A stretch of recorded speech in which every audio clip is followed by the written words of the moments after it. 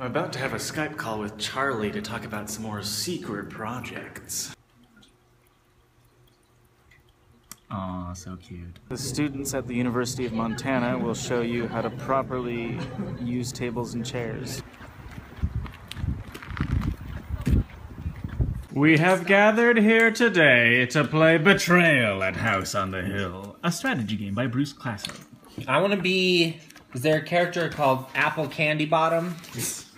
Surely there. I want to be. It's a role playing game, Don't call right? me Shirley. That's an omen. That's good though. I'm Madame Zostra. I'm really into Roman omens and Romans and astrology. Especially Roman omens. And Roman omens. Uh, I drew a holy symbol, a symbol of calm in an unsettling world. Gain two sanity now. What's behind that door? A charred room.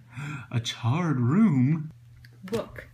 A diary or lab notes. Ancient script or modern ravings gain two knowledge now. Ooh, to the upper landing. I'm just gonna go here and explore this room. It's the patio. Um, Burning Man. A man on fire runs through the room. His skin bubbles and cracks, falling away from him and leaving a fiery skull that clatters to the ground, bounces, rolls, and disappears. You must attempt a sanity roll. So you can try the app. So, two. Out, out, you must get out. Put your explorer in the entrance hall. Take one die mental damage. One die. Does that mean I roll a die? Find the skeletons. the brain. I just entered the statuary corridor. You feel a body under your foot. It's the statuary.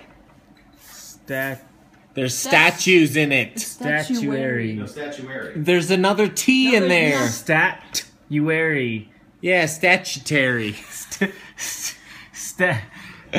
Before you can leap over it away, if before before you can something you get knocked over. Ah. A giggling voice runs away from you. Turn over all your item cards and shuffle them. I have none. Because you're an Aries. I'm a Pisces. You- It's because you're a Pisces. In real life or the character? Oh, in real life. Oh, that's not what I'm. I'm in character right now. Where does it say? It's his birthday. Oh, what's August 2nd? You're, uh. The one after cancer. I'm the one after cancer. Ah, it all comes together. I Have to do Why don't you cut those off? a might. Don't touch my tags. So Stefan started the haunt, and every time you play this game, there's a different haunt. In this one, each of us has a doppelganger that showed up at the front door that's trying to catch up to us and kill us. Ah! Um, you can only kill your doppelganger if you have the crystal ball, which is something that Stefan has. I have it. And basically, I want to put as much room between my doppelganger and myself as possible. But right now, that's one, two, three. That's that's close. Uh oh. Go. I'm gonna. A different way. When exiting, you must attempt a might roll of three plus. Ooh, might have to do that. We won! Valerie and I won! You're dead. You're gone. He's very dead.